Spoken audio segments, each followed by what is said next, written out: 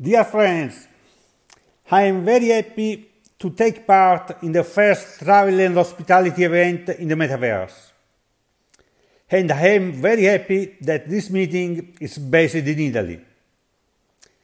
In the last two years, we have passed through a lot of difficulties. But now we are back. We know very well that we have to face a market more competitive than in the past. At the same time, I want to tell you that the Italian hospitality industry is ready for this challenge. I want to thank to Simone Puorto that offered us the opportunity to meet in the Roman metaverse.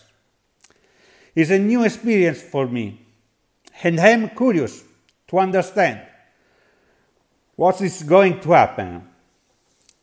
About 30 years ago, I remember when a Roman hotel received the first reservation by email. And I was there when the guest arrived at the hotel and was welcomed with a champagne bottle. In the same period, some opinionists said that the internet, that technology was a risk for tourism industry. They said that the people would travel less and that the travel would become virtual. But they were wrong, as you know.